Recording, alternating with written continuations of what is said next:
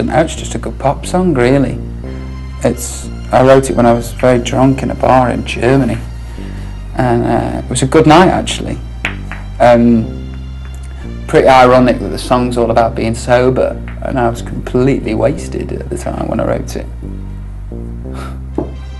When did you decide that enough was enough with the drinking? Why? Uh, I don't know, it just, when things become beyond a joke, you know, it was always a big joke.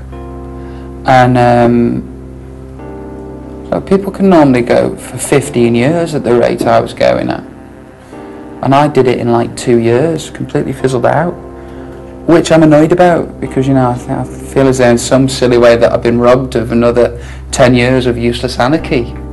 Uh, and in other ways, I'm very grateful that, you know, I've come to the point where I've gone, hang on a minute, that doesn't work for you, stop it. Um, there's no point. There's no point where I went. Today I've done enough. I think you know. You know for ages that you've done enough. It's just doing something about it. That'll be my dealer. I, I spent a lot of time thinking, well, am I an addict? Or what is an addict and what's the term, you know? And I think that uh, if it's costing you more than money, then you're an addict. And um, the only thing, the only, the only way I'm living today is like, you know, I'm not going to have that first drink. It doesn't work for me.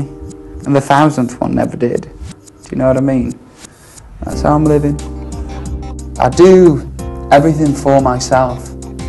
But the songs that I'm writing, you know, could relate to anybody in anybody's lifetime. You know, everybody hates somebody misses a form of love. And everybody wishes they were loved more. So that's my life.